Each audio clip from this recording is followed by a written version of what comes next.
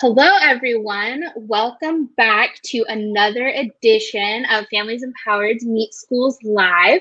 Uh, I am. My name is Ayla. I am back again here with an awesome school in San Antonio that I'm really excited to talk about. Um, Frank L. Madla Early College High School. We've got a couple of guests here today. Um, super excited to have Mr. Flores, our principal, and Sierra, a former student. She's our first student that we've had on one of these, so I'm really excited to get her perspective and to talk about the school from a student's point of view. It's super unique. It'll be really interesting. Uh, just a reminder um, as we launch into everything, uh, we do have an awesome prize today. If you'd like to ask a question, just say hello. You'll be entered for a chance to win a little gift card from the burger joint.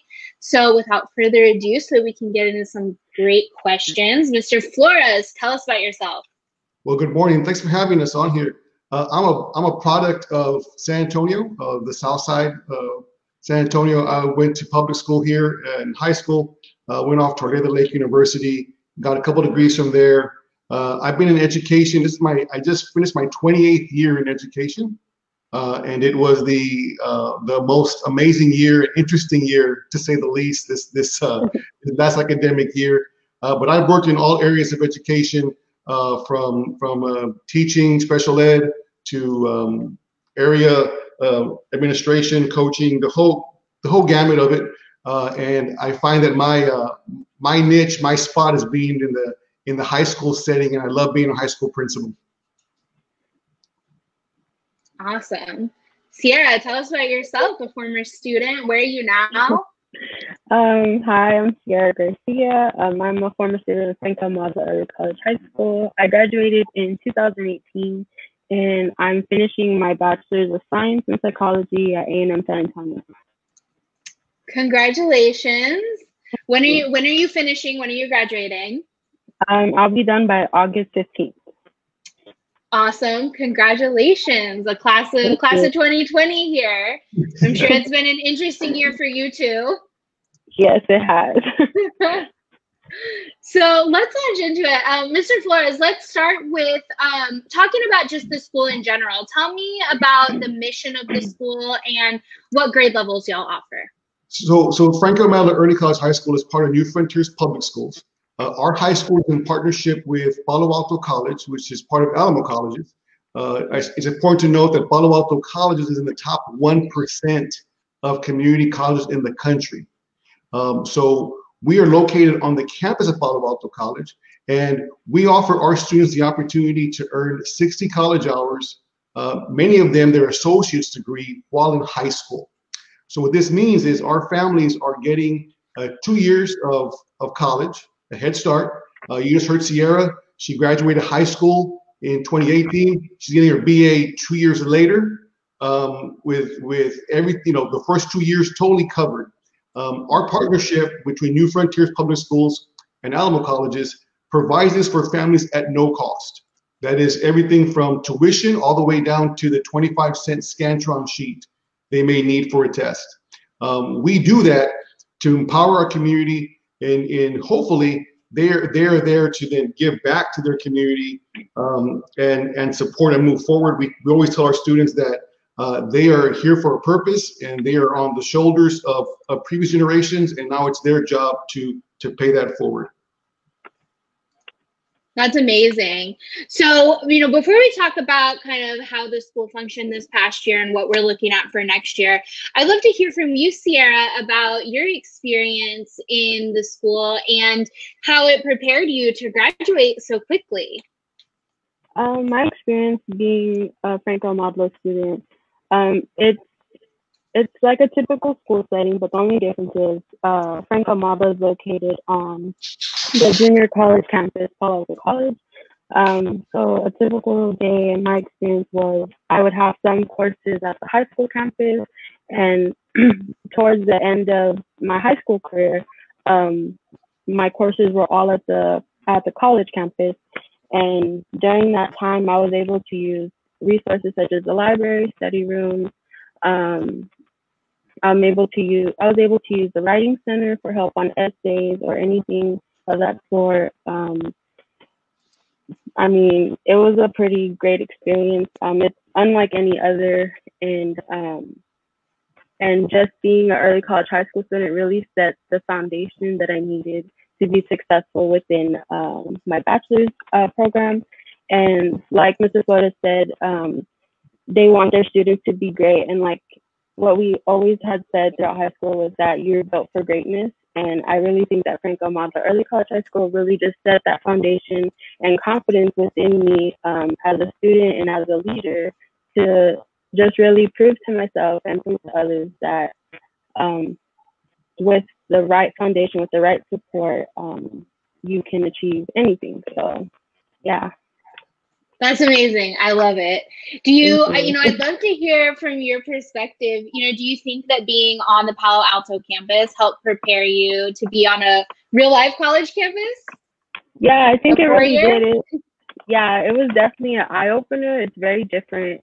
Um, but I think it's a great experience because you get to, you're not limited to just the high school setting and it's preparing you for real life experiences that you're going to experience throughout your undergraduate program.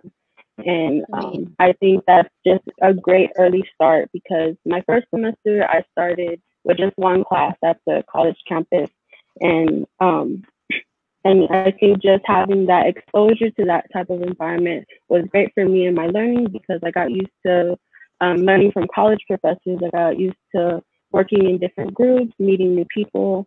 Um, so yeah. That's awesome. That's so cool. I love it. So let's talk a little bit about this past year, which I, you know, I think we all agreed that it was a little crazy, a little bit hectic.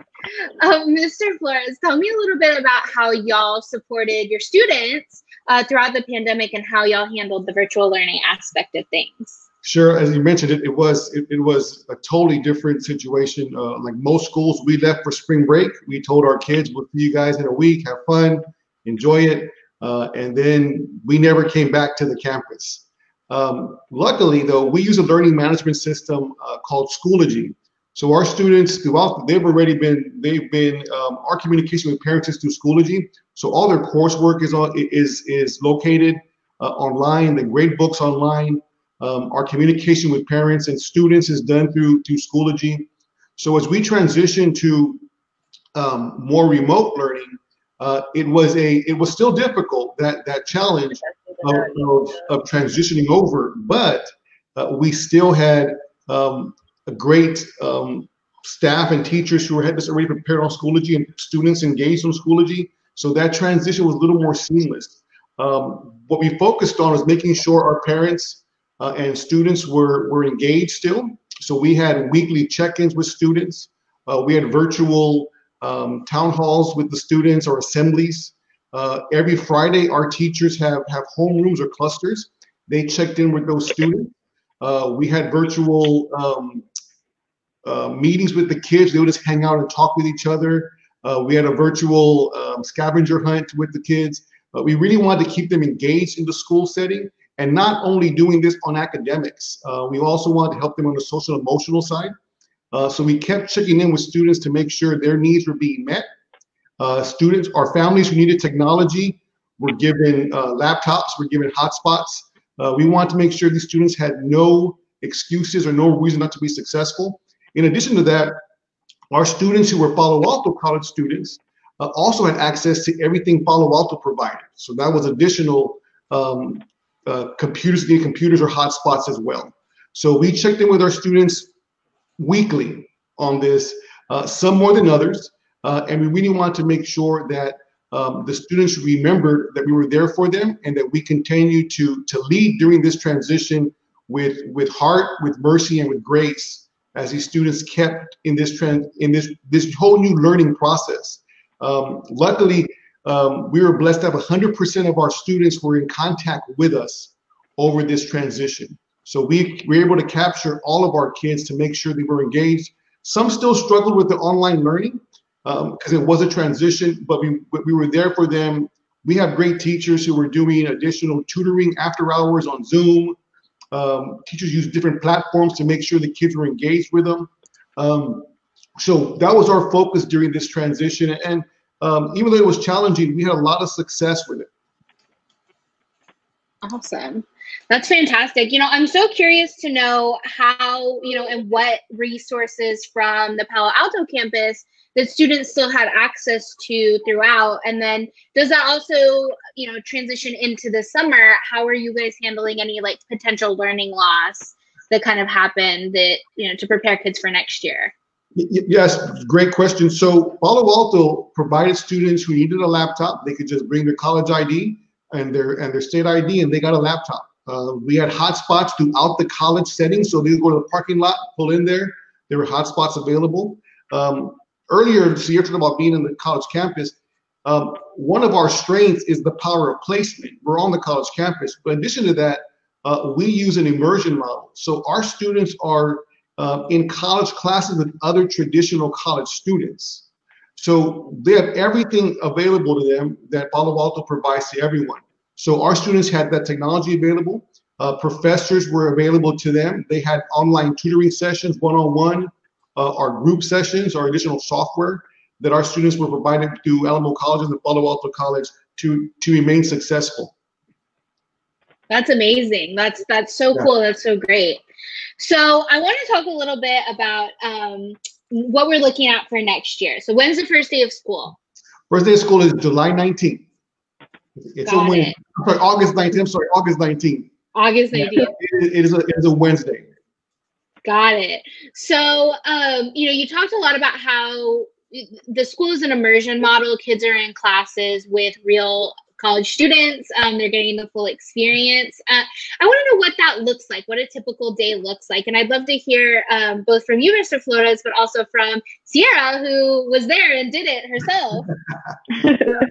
it's, it's you know we always tell our families we have we have traditional kids we have kids that are that look like every other high school kid in the in the country uh, the difference is they do they do extraordinary things um, given the opportunity and the structure and, and, and the support we provide for them, the college the college classes are eased into. So all of our students must pass the TSI test, and that's their, their college acceptance test. Once they meet those requirements, we look at that, their social emotional um, setting, we look at their attendance, we look at their grades, and then if we feel it's a good spot, we put them in college courses. We ease into that.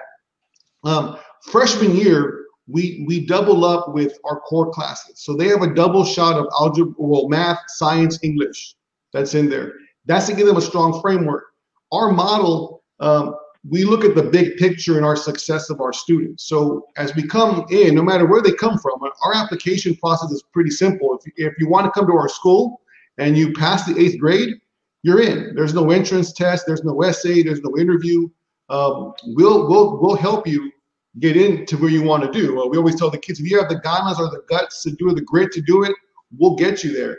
Um, once we do that, we we support them academically with academic labs, um, support centers throughout the day. Um, so on a typical day when they're in college courses, it's pretty amazing. You'll see our students go. Let's say they may have first period at the college campus, have to walk back to our campus for second period, third period they may go to the to the Starbucks for lunch uh, on the college campus, and then come back for a high school class. So they they actually live within two worlds. They're they're in a high school setting, but also going to the college setting back and forth. Um, now that does change how we teach at the high school level, because these are college students. They're again they're in a college class. They're having debates, discussion. Uh, they're having a point with other discuss you know process and, and thoughts with other college students when they come back to the high school, we have to keep that same teaching going for them. So, so, so with our school, it's a lot of reading, writing, and thinking that happens in those classrooms. Um, but our students have to make that adjustment um, academically and emotionally and socially in going from high school to college, back to high school, back to college. Now, by senior year, they're almost 100% at the college level. But you know, but Sierra would tell you first. I mean, she she lived it. We we do the schedule, we write it up, uh, but they have to go through it every day. yeah, Sierra, tell tell me about a typical day for you. How how did that work? Um, I mean, like Mr. Flores said, um, I was eased into it as a freshman and a sophomore. I only started out with one or two classes, college courses. Um, and I would have other classes at the high school, and then within other periods, I would have classes at the college campus. Um, and as the years progressed, um, all of my courses were at the college level, so I was constantly going from high school to the college campus, high school to college campus, back and forth. Um, and the adjustment, you get used to it over time, where it's the social adjustment, the emotional adjustment, adjustment.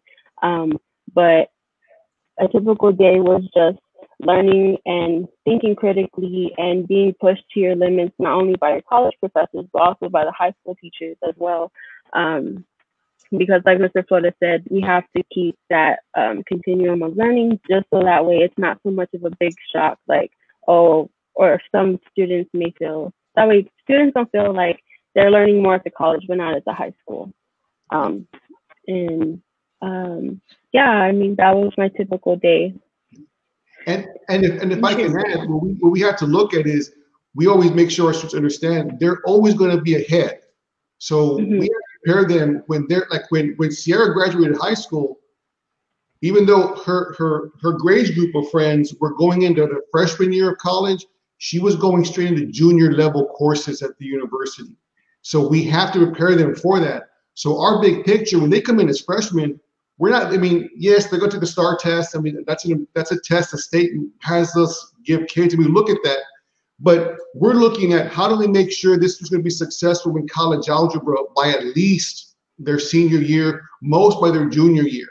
Um, English and reading and you know writing, how do we make sure that they're ready to write at the college level by their sophomore year of high school? So our our scope and sequence is is a little bit um, on a faster on a faster pace, but it's the rigor we have to get these students used to uh, on that so they are successful uh, because they're true college students. So when when Sierra got her grades back, um, she got them back, not mom, not dad. Uh, we got the midterm grade and the final grade. Uh, they had to take on that responsibility. So early on, they take on a responsibility that's important for them to be successful for their entire life. They have to balance, you know, they have to balance out when a professor says classes, you know, is done 30 minutes in. They have to come back and balance that time. So we have to, we help them get that, uh, along with academics, we help them be successful in teaching in them soft, those soft skills of time management, of, of empathy, of, of, you know, social, emotional uh, uh, support them on how to handle stress. Um, you know, all because these are high school kids. They, they do the regular high school stuff in addition to now they're college kids. So finals time, they're taking high school finals. They are, I'm sorry, college finals, then high school finals. Wow. Um, also, just to add to that, um, like how he said about time management, there were some courses that I had that would finish early and I had to learn that responsibility of, well, I have 30 minutes left before my next class. What am I going to do with this? Am I going to sit around and waste the time, or am I going to study for an upcoming test? Am I going to get ahead on a, reading the textbook? Am I going to um, go meet with my professor for a quick question? Am I going to meet with uh, our school counselor for a question about a university. Am I going to apply for scholarships? Um, and just like you said, uh, the rigor of it all really prepared me for the, a university level. I love that. I, I think it's so cool and interesting the way that you guys are preparing kids to go right into college, um, right into their junior year of college, because of course they're in college while they're in school while they're in uh, Frank L. Madla. but I'm really curious to hear, um, Sierra, from your point of view, what it was like to transition in from eighth grade into your freshman year. What was your first year like? So for all the families that are looking at the school potentially for their, you know, rising eighth graders, what can yeah. they expect that experience to be like for their kids? Um, I mean, for me, it was um, it was a big cultural, social shock just because I had gone to school with the same kids from first grade all the way to eighth grade and completely moving to a new school with kids from all over the city was definitely different. Um, but I think freshman year, it was definitely a year of growth for me. Um, just getting situated in the environment, making new friends, making those new bonds with people.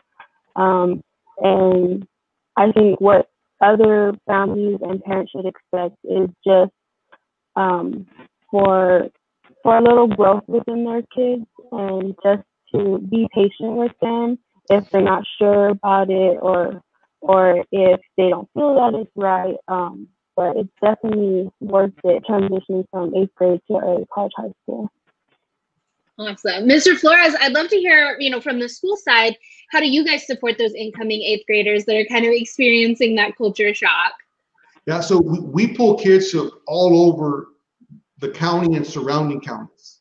Um, so we spend a lot of time uh, that freshman year and, and, and, all four years, but the freshman year of developing that that community um, and and the culture of of, of, of Frank L. Madla Early College High School. We, we have our own kind of um, language there. We, we talk to our kids every day about they're they're built for greatness. Uh, they're, we always tell them that our job is to help them find their greatness and then help them walk in that greatness every single day. Uh, we talk to them about you know giving a perfect effort in everything that they do, academically at home, to give that perfect effort. Um, we're we're a different school in that we we let our kids know that we love them, um, that that we're there for them. They have a voice. We're there to support them. Uh, that they matter. Um, so we spend a lot of time with our students, um, also reminding them that they're gonna face some struggles. Um, we're these kids are amazing um, on the fact that they're choosing to come to a school where we're going to put six years of school in four years. Um, so we remind them that it is going to be a struggle, but they can do this. We're there to support them, and we develop a system where the students support each other. Um, it's amazing to see students lead uh, study sessions. Uh, we have uh, a, a, tutoring group that our upperclassmen help with underclassmen classes and, and tutor the students in those areas. Um, we have alumni come back and talk to the students about what it takes uh, to be in the school they want to go to, uh, to remind them that, or they tell them, you know, this is worth it. You know, it's going to help you when you finish when you finish this program. Look where I'm, look where I'm at now. Look what I'm doing now. You do the same thing. Um, we also have um, uh, milestones so that, that we support our students and remind them and our community what they're doing. So just quickly, when when the students choose our school, we have a pinning ceremony where they get a pin. Where it's a it's a ceremony where the students, the parents, and the faculty all make a commitment to the to the next four years of our students, and the parent pins uh, the the student. Uh, when they get to to college courses, they get a college um, a college ready um, uh, journal on the milestone. We invite our parents to this. They get that milestone to start writing down that journey that's there uh, we don't have athletics at the school, even though our students can participate uh, at, at, the college level. And we've had some kids play soccer and volleyball and basketball for Palo Alto College because they are college students. But at 15 hours, our students earn the Letterman jacket. Uh, we're in Texas. Every kid wants a Letterman jacket. Uh, ours is black with a with a, a, a, teal M on it. It's beautiful. Uh, it's it's hot though. It's heavy. Uh, but uh, when our kids earn 15 college hours, they earn a letterman uh, from the school. Um, and then we, we, we, celebrate again at 45 hours, we get the core 45. And then at graduation, uh, there's a ceremony and a dinner. We honor the, the, the, students and their parents. And it comes full circle. Freshman year, the, the parent pinned the, the student.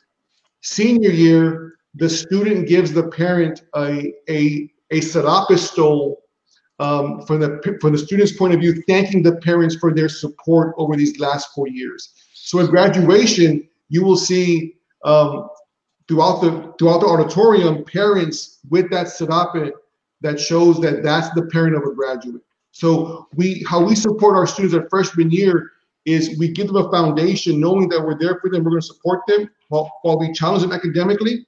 Um, at the same time, it's a journey all four years, and we're there with them uh, we always let the parents know I'm a father myself of, of, of three kids, uh, 12, 14, and 16. Um, so I, I, I know this firsthand. When kids come to high school, they're going to trip sometimes. Our, our commitment is they're never going to fall.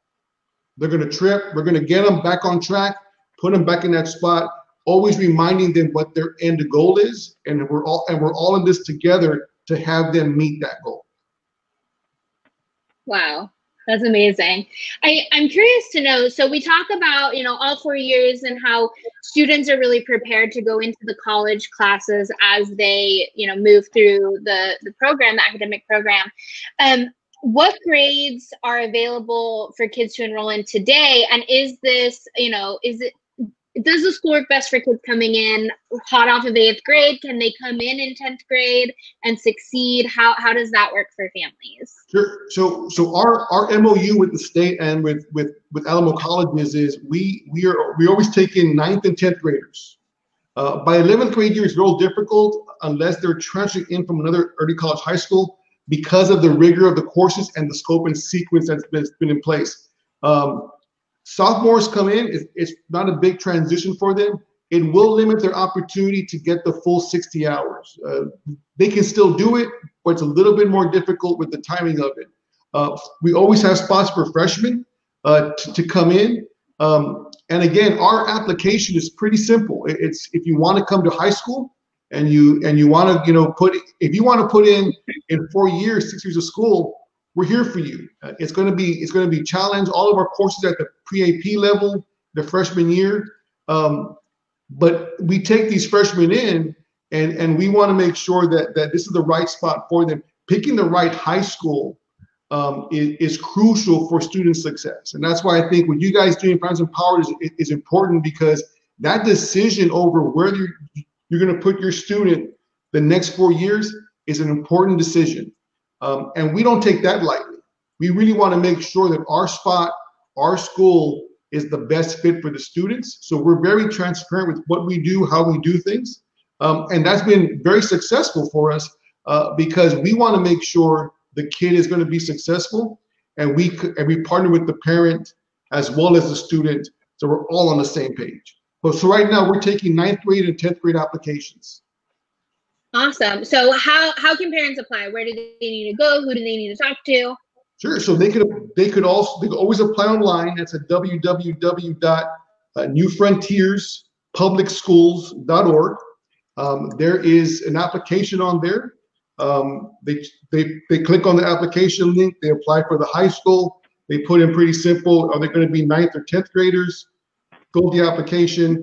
They then get from us a a um, a conditional acceptance letter um, that says you're in, we have a spot for you, and the police submit back to us a letter of intent that they're going to enroll at our campus. Once we get that, then we send a, then we send out for them the information for registration on there, and it's and it's that it's that simple. Um, also, they could always call the, the school number. Um, right now, with COVID 19, the, the access to the campus is limited. So um, I'm I would give up my my work cell number. Uh, any parent can call me about about um, questions on the school, um, questions, ideas, whatever it is. Uh, my my work cell number is 210-452-1166. Um, they could also email me at uh, jflores at newfrontierspublicschools.org. Awesome. Yeah, that's been a huge question that we have gotten as parents are calling us for help is campuses are closed. I can't yeah. get in touch with everybody with anyone. I'm trying to figure out who I need to talk to. So because we know the campus is closed, um, are you guys doing any type of virtual tours or tours by appointment with masks? Um, how are you handling that for parents who maybe want to come see it for themselves? So we are still working with, with Alamo colleges, with Palo Alto College on, on, on seeing if we could schedule some, some one-on-one tours with masks that are there. Um, we have sent out the map of the school. Um, we are on a, we're in a small corner of the, of the college campus. We're between the Ozuna Library uh, and the veterinary uh, building at, at the college campus. That's our portables there. Our tour would take 10 minutes because it's just portable classrooms that are in there. Um, but we, we are what we do a lot of time with is we spend time with parents who ask you know they're going to ask a lot of questions. Um, and i mentioned before this is an important decision. So we meet with them one-on-one. Um, one thing that covid-19 has has kind of shown us that we could do a lot of things through through uh, through Zoom, or our virtual meetings with parents, um, and we're doing that more because it, it's it's hard to make the connection um, with with a parent and a student just on a phone call. Um, so we're doing a lot more time doing one-on-one with them. Uh, we're in the process right now of planning uh, how well how we're going to do our summer bridge program. It's always been on campus. They come in for three days. All the freshmen come in. There's there's activities, academic as well as social. Um, we have to change that up uh, through through now because social distancing. Um, so we're still working on on that on on how we get that done. Great. So I want to talk a little bit about the future going forward. Um, I'm curious to know, do you guys, I know you're talking about finishing up your summer program. Uh, how do you envision uh, this school year thing? Are you going to have a B day? You know, you're doing part virtual, part in class. How how are you guys handling that for this school year? Do you do you guys have concrete plans yet? We're we're fun, as a district. We are still finalizing plans. Um, the one thing that is is is helpful for us is that by using Schoology as a learning management system we have, it helps us have our students do a little bit of both. Um, they've always been able to, to log in and do work. Uh, we've had kids who have been extended absences because of, of illness who are still able to stay involved with it. Um, as they're in the college course, we, we do know, we do know from Alamo colleges that the college courses will be online this fall, the majority of them. Um, so our students will have to still log in to get that work done. Uh, they will stay on the same schedule as as they have always had at the college. So it'd be kind of what they're saying now is the synchronous model uh, that's there. Um, but we will still support our kids regardless of what that model is. Um, New Frontiers Public Schools is being very uh, pragmatic in how we're going to respond to this to make sure that the voice of our community is heard. Our parents, uh, that there's there is a we want to make sure the parents and the students feel safe uh, at the campus. We want to make sure that everyone is in an environment where learning can happen. Um, we have seen that um, firsthand, some students excel with remote learning, and some students struggle uh, with that. Uh, so we're looking as a staff at the high school level, what support mechanisms we have to increase to make to ensure that our students are successful at the college level as well as the high school level um, and then how we empower parents to stay connected through this transition uh, where there's going to be limited face-to-face time. Um, I would expect that that the district um, come out with what what the day-to-day what looks like um, pretty soon. Uh, at the high school, our our hours of operation for school is 8 a.m. to 4 p.m. Uh, we're on a we're on a block schedule, so there's an AB uh, Monday, Monday, Wednesday, Tuesday, Thursday uh, schedule.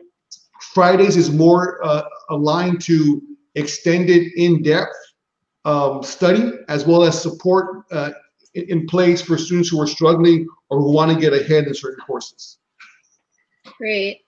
So, um, and then I just want to point out, since we know that the college is uh, doing online classes for the college courses, um, I assume that kids again will have access to bring in their college ID in, and they can get a laptop, uh, check out a laptop if they need one, use the hotspot, still have all that access for next semester as yes, well. Yes. In addition to that, you know, there there are students. So our our district has made a commitment um, to have that access to our students. So if they need technology, it, it's there for them. If there are hotspots for them. One thing that's amazing about New Frontiers Public Schools is our superintendent, um, Mr. Alfredo Segura, um, when this first happened with, with COVID-19, one of the first meetings he had with, with us and leadership was, how do we make sure every kid has access to technology? Uh, and that was, this was just starting out. So it's a commitment of we want to provide our parents everything that they need for the student to be successful. Great. So, you know, we talked about what what this next year brings for students coming into the school, but Sierra, what's the next year have in store for you? You're graduating on August 15th. Mhm. So, what are your plans? Um, what are your big plans? Uh, my plans are to start my start um, getting professional experience. Um, I'm not too sure yet as to where I'm going to get that professional experience yet, but um, once I have had maybe a year or two of professional experience. Um, then I'll start my uh, grad program um, probably in clinical psychology and start working on my way to um, attaining my PhD. So, yeah. That's amazing. What do you want to do with that? Do you want to work with patients? Do you want to go teach at a school? What do you want to do?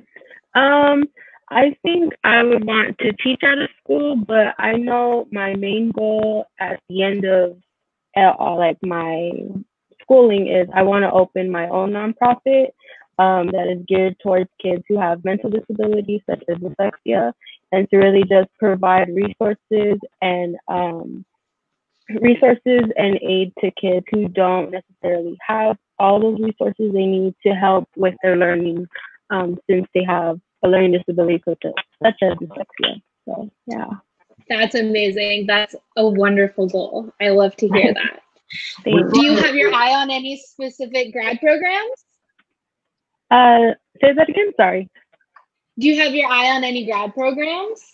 Um, not yet. Um, I was thinking about starting a grad program at Our Lady of the Lake University because it's a beautiful campus and I just love what it represents. Um, but um, as of right now, that's my only grad school program I've considered, um, but I still have more uh, research to do on those. Wow, that's awesome. I'm, I'm trying to convince uh, Sierra to, to consider coming back to the high school to teach a little bit to get some, some experience that's there. She's she she's great in math and and uh, uh, she's uh, we've seen her work before with with other organizations in tutoring, uh, and and she's amazing at it. So we're trying to get her there, but you know, we'll see if it works or not. uh, yeah, see if she wants to come back to school. Exactly.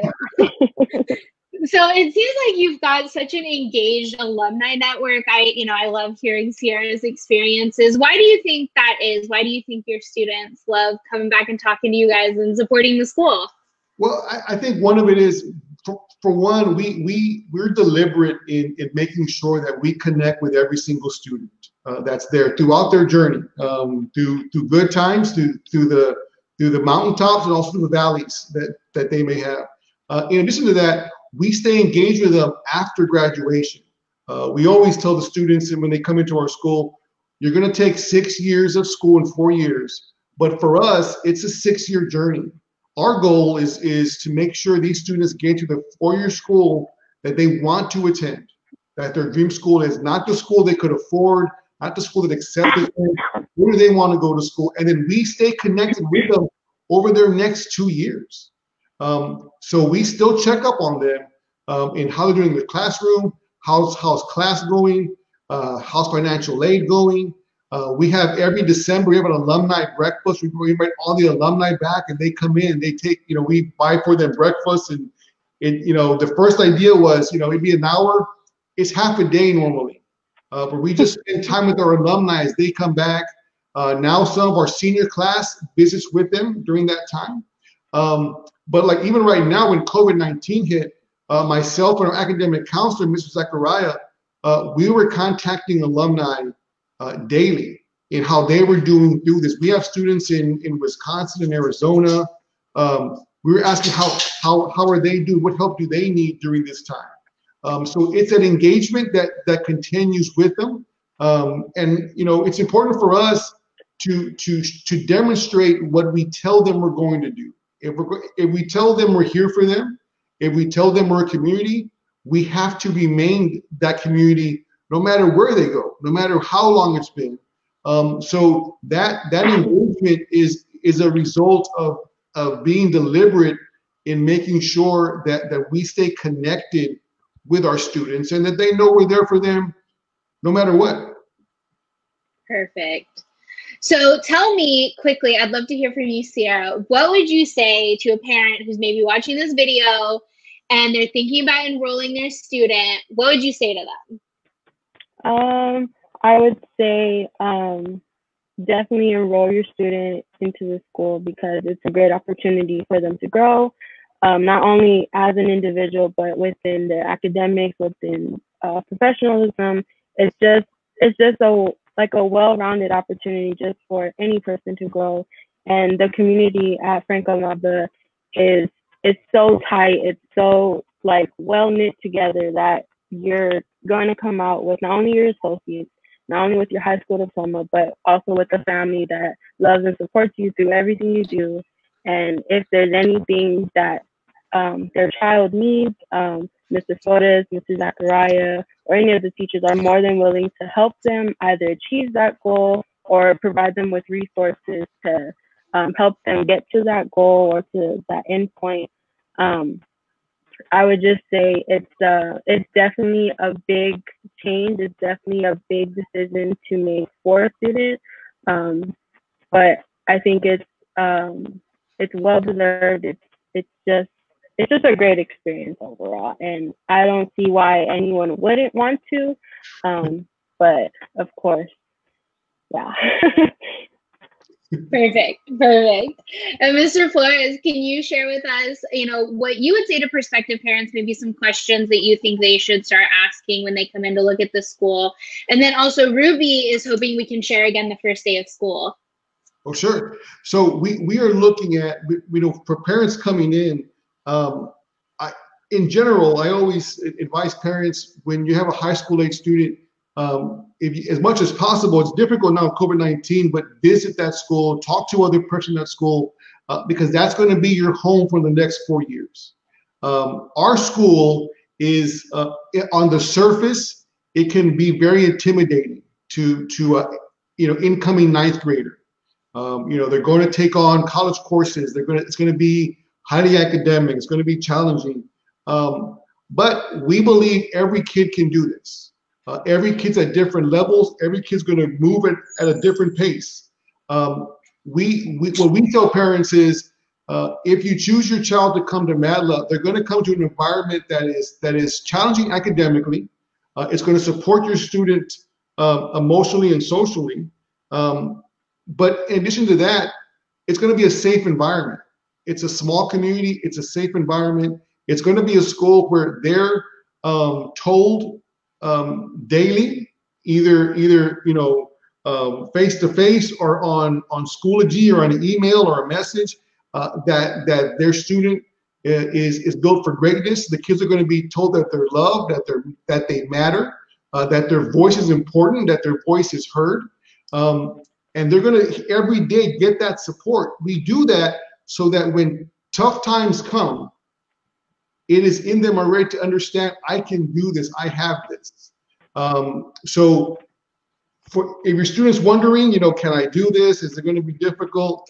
Uh, it will be difficult, but but your child has the opportunity to graduate high school with two years of college credit, um, with with zero with with zero money being borrowed. So you know, it's it's it's great to have students graduate their four-year degree with zero or limited debt. You know, we all see the news, the, the mountain of debt that our country is under through college loans. Um, if our students can graduate uh, with low with a low amount of, of, of, debt, that's where the, the, the economic development truly happens in the community and, and families are changed completely. Um, so by coming to us, um, your student will be in an environment where they they can be successful and they'll be given the tools not to just not to just pass the STAAR test or to get college ready. They'll be in college and they'll know that when they leave they can they can do whatever they want to do because they've already competed against other college students. And again Palo Alto College is in the top 1% of community colleges in the country and we're lucky to have them as our partner Wow. Yeah. And then they graduate and they're set up to be like Sierra here, who graduated in 2018 from high school with her associates and is now graduating in August with your bachelor's. So it's amazing. Yeah. Um, so, Mr. Flores, before we wrap up, remind us one more time um, what's the first day of school and how can parents apply? So, so the first day of school is August 19th for the high school. Um, and our website is www.newfrontierspublicschools.org. Uh, so that's New Frontiers with an S and then public schools with an S.org. Uh, there's an application uh, apply button on there. Uh, if the parent cannot find it, they could just call me at 210 452 1166 and I'll get them on the on the correct website. um, to, to fill that application out. Perfect. And we do have spots for ninth and 10th graders. Yes, so enrolling for ninth and 10th graders, you can enroll online, give Mr. Flores a call. Um, you know, and that's that's all we have for today. Thank you both so much for coming on and talking with us. Um, Sierra, thank you for taking your time out of your your busy college schedule because you're finishing up now to chat with us. You. And Mr. Flores, thank you for talking us through what it's like for kids coming into this rigorous but very rewarding program. I loved it. Thank you so much. Thank you. All right. Bye, everyone. Bye. Bye.